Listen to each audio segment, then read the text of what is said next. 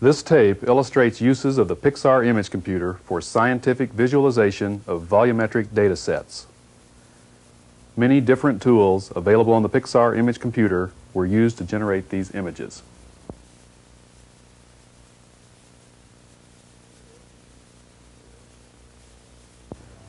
Here, rendering and film loop tools are used to view clouds forming above the Earth's surface.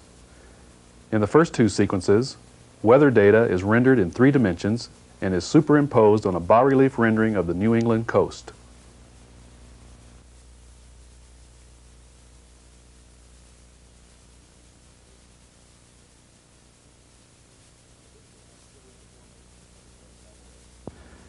This sequence shows the formation of Hurricane Diana. Note that the clouds cast shadows on the terrain below.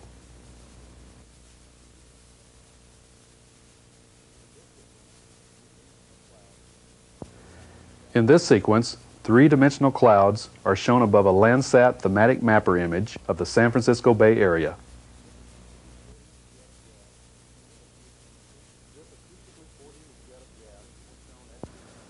This acoustically forced jet of gas is shown exiting from a nozzle. Blue is mapped to high densities of tracked particles, red to low densities.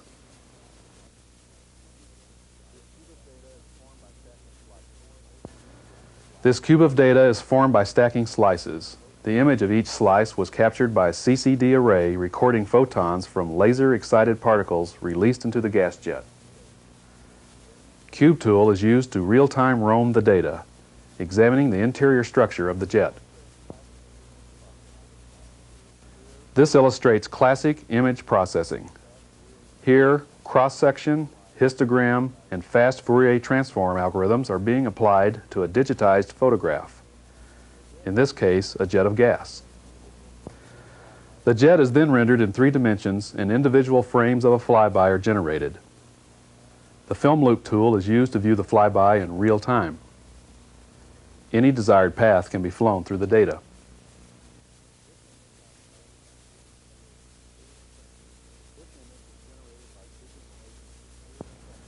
This image was generated by sweeping a laser through serial sections of a puff of smoke.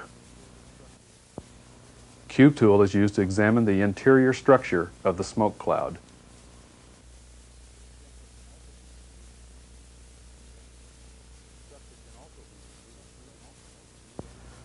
The structure can also be rendered in three dimensions and viewed as it rotates.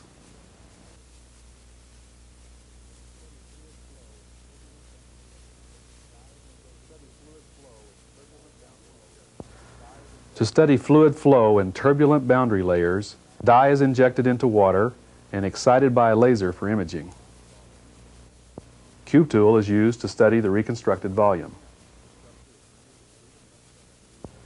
Again, the structure is rendered in three dimensions and viewed as it rotates.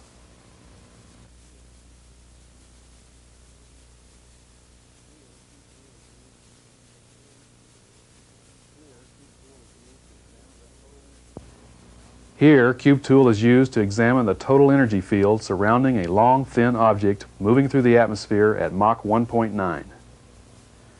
The data is the result of a computer simulation. Red represents areas of high energy, and blue shows areas of low energy.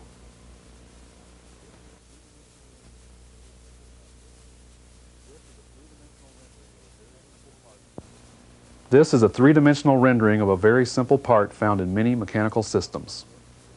The colors show different levels of stress for complex loading conditions calculated with Patran P-Stress, a stress analysis program.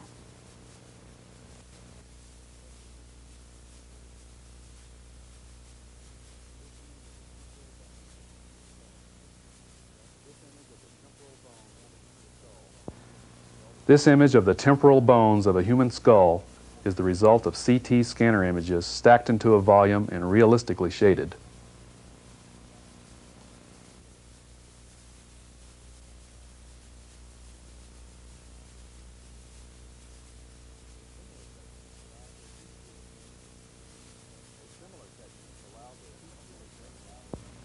A similar technique allows a cube tool examination of a human pelvis. In this case, magnetic resonance data has been used.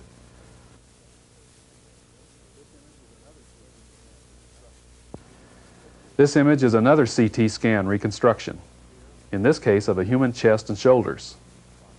Here, gradients are used to extract information at each voxel so that traditional computer graphics shading can be implemented.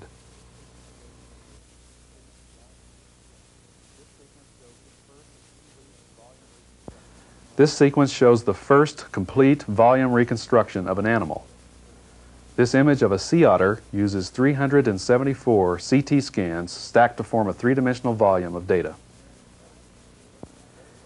In the sciences, engineering, and medicine, we are looking for better ways to analyze and interpret both computer-generated information and natural phenomena.